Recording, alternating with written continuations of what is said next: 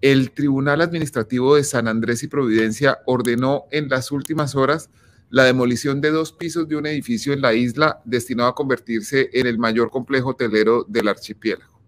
El controvertido proyecto Gran Sirenis viene siendo desarrollado por la empresa Hitos Urbanos, a la cual está vinculado el señor Álvaro Rincón, esposo de la ex vicepresidenta y ex canciller de Colombia, Marta Lucía Ramírez.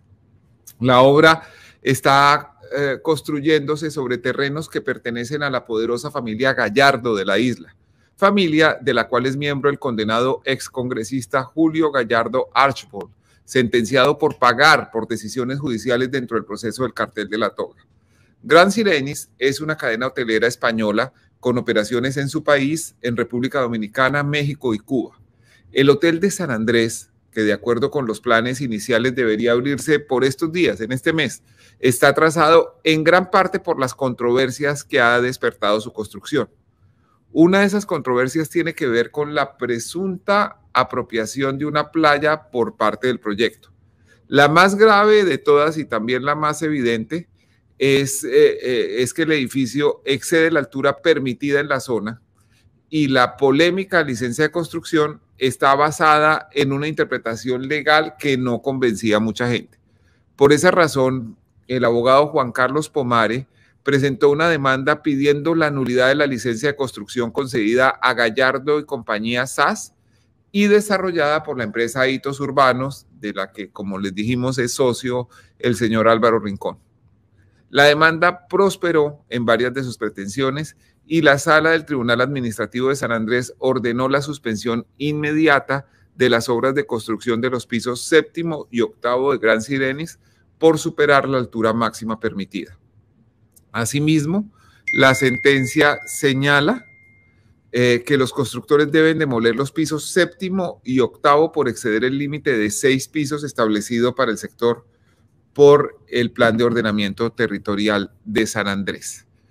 Eh, les quería contar también que Nicolás Gallardo, miembro de la misma poderosa familia Gallardo, dueña del terreno, tiene otras propiedades en la zona que también exceden la altura y es uno de los candidatos más opcionados para la gobernación de San Andrés en las próximas elecciones. La sentencia del Tribunal Administrativo de San Andrés solo, solo cuenta para este edificio, es decir, no, no se puede aplicar por extensión a todas las construcciones, por lo menos hasta ahora.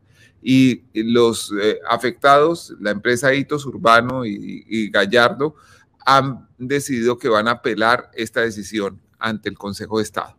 Bueno, ustedes saben que podemos hablar sobre este o sobre cualquier otro tema. Estamos listos para atender. Ah, está el doctor Juan Carlos Pomare con nosotros. Teníamos un problema de conexión. Eh, y, pues, doctor Pomare, eh, inicialmente le quería, le quería pedir que nos hiciera un resumen breve de lo que significa esta sentencia.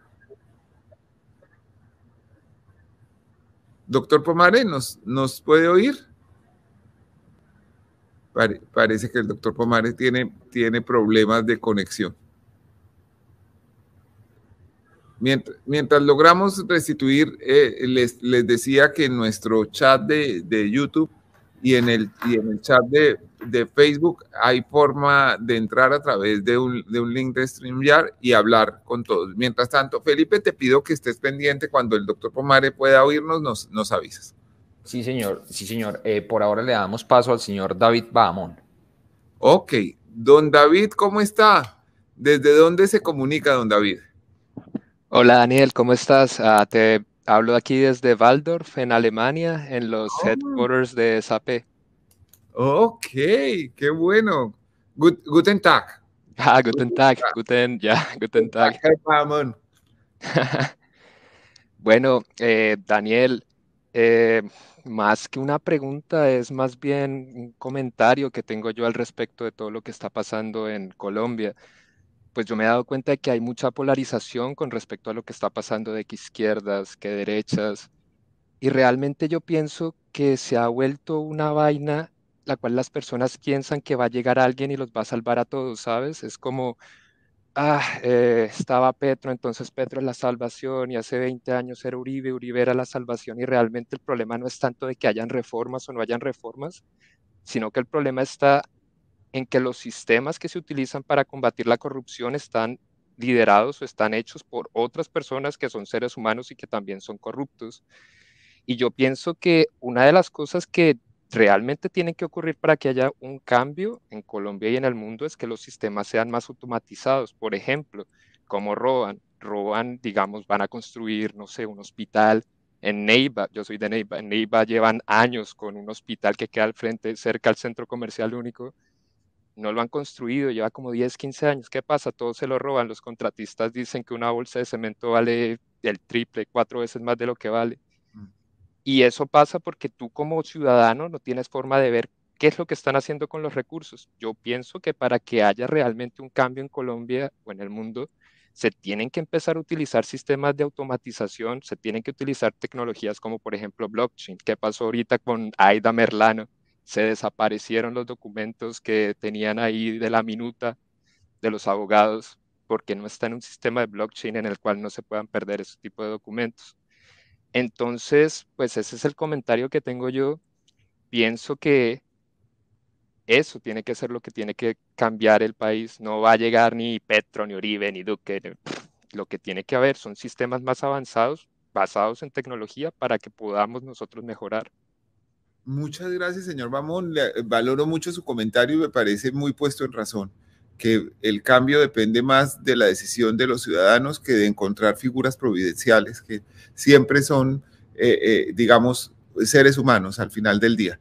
El, eh, el, el, tema, el tema que usted plantea es muy importante en cuanto a aplicar la tecnología que está disponible en el mundo hacia el control de procesos como la contratación y como la ejecución de obras públicas. Eh, por ejemplo, este tema que, del que hablamos en San Andrés tiene un largo historial hacia atrás de la propiedad de ese terreno, de, de, las discusiones sobre si existió eh, eh, apropiación de una playa pública para privatizarla, si no es así. En fin, muchas cosas que con, que con una memoria documental fuerte se podrían simplemente zanjar y, y remitir a los documentos. Muchísimas gracias, don David. Bueno, Daniel. Que disfrute y, felicitaciones por sus actividades en Alemania. Bueno, muchísimas gracias. Ahorita voy a ir a tomarme una cervecita. Ay, sí, ya, ya, es, ya es hora. Ya que, ¿Qué horas son? ¿Somos las seis? Sí, ya son, ya van a ser las cinco y cuarto. Ahorita voy a tomar un tren a Mannheim y que aquí a como 20 minutos y hay un bar de unos mexicanos y allá me tomo unas cervezas con él. Señor, pues que disfrute su cerveza y muchísimas gracias por acompañarnos. No, muchas gracias por el espacio. Que esté muy bien, don David.